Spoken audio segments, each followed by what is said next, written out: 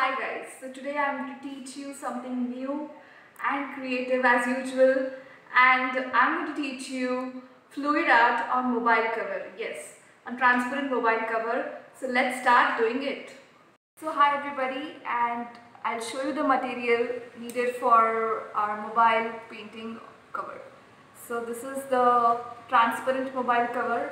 Everybody has it. I hope everybody has it in their home itself uh, or you can buy it. Uh, these are some acrylic colors uh, like I've used blue color. I'm going to use blue, dark blue, yellow, white, a water and a brush. That's all you need.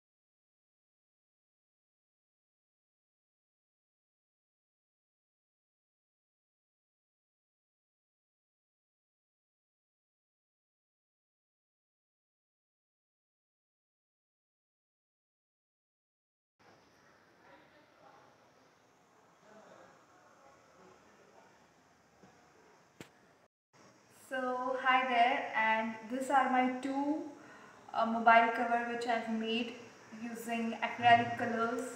And this is the fluid art which I've made uh, using brush, the backside of the brush. And you can also make such at your home itself.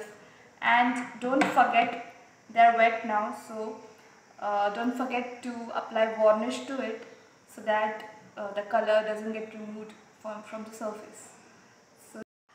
So please like, share and subscribe to my channel and do watch my videos.